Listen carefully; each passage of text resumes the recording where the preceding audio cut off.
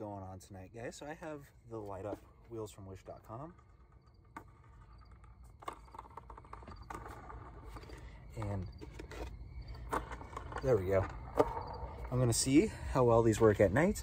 And uh, yeah, just skating around town a little bit or probably to uh, Homestead Park and get a couple clips of these just doing their thing with the lights. So other than that, let's get to skating and see how these do.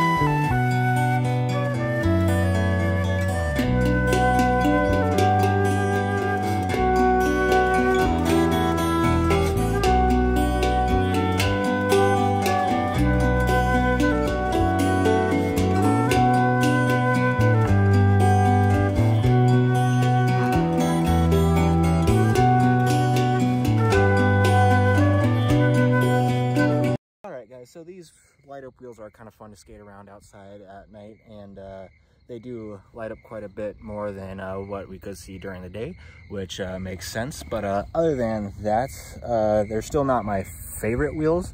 Now, if perhaps maybe a better wheel brand, for example, like Hawgs, Orangatang, or another wheel company made a light up wheel, which I don't think they will. Um, if they do, please leave it in the a link in the comments below. But uh, other than that, uh, these are kind of just fun, mess around sort of wheels. But uh, yeah, I don't think a serious company would make uh, light up wheels like this because these are more of just like a toy.